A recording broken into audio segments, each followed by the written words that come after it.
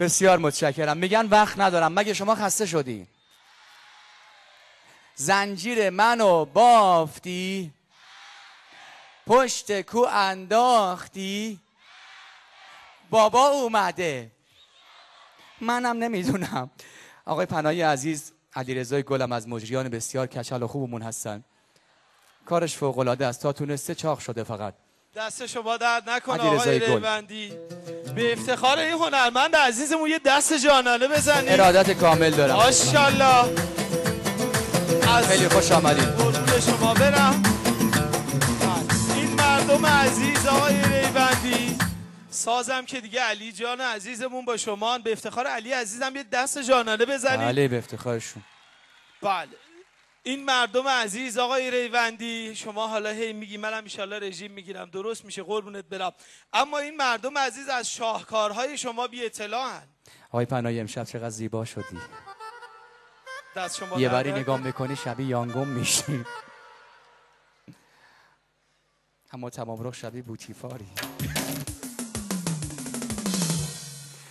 خب من در خدمتون هستم آقای پناهی. سلامت بشید انشالله آقای ریوندی فکر می‌کنم آخرین باری که ما شما رو دیدیم 43 نفر رو کشته بودید. درسته؟ من معذرت می‌خوام. بله. بر اثر شوخی آقای ریوندی 43 نفر کشته شدن. می‌دونستید آقای ریوندی خودتون؟ با ایشون سوار اتوبوس شدیم. آقای ریوندی رفتن از پشت چشمان راننده اتوبوس رو گرفتن. یه دونه از اون شوخی های خیلی جالب. با آقای راننده میگه ای گفتی من کیم؟ اتوبوس دم چپ کرد. قربونت برم. گفت اتوبوس. واقعا که تشکر می‌کنم ازت آبرو ما رو جلو جمع بردی این کار درست بود خیلی ممنون.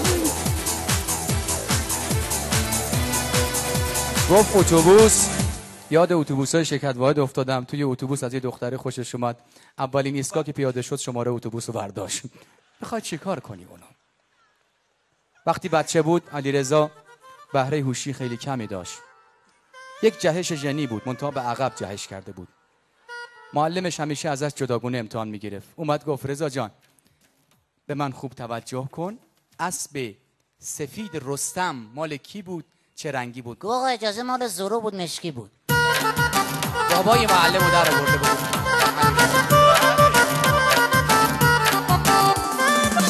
قربون تو برم. آقا رضا تازه اومدن محله ما. محله رو به هم ریختیم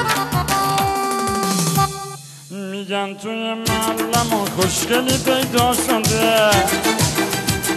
آقا هر کی قبول داره که آقای رضا پناهی علی رضای گلم از مجریان بسیار خوشگلمون هست یه دست قشنگ بزنه. ببین همه قبول دارن. هم. من که علکی نمیگم امشب اصلا یه جور دیگه شده قیافت. فرق می‌کنه.